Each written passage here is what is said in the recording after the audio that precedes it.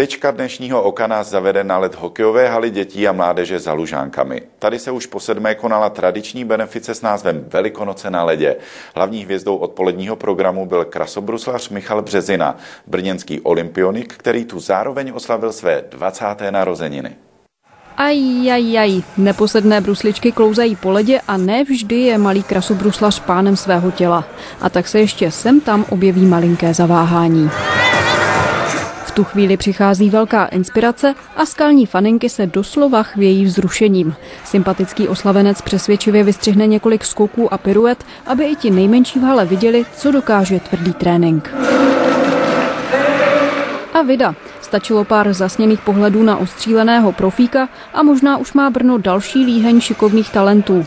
Pozorně si je prohlédněte. Jednou jim možná stejně jako Michalovi budeme držet palce u přímého přenosu z olympiády.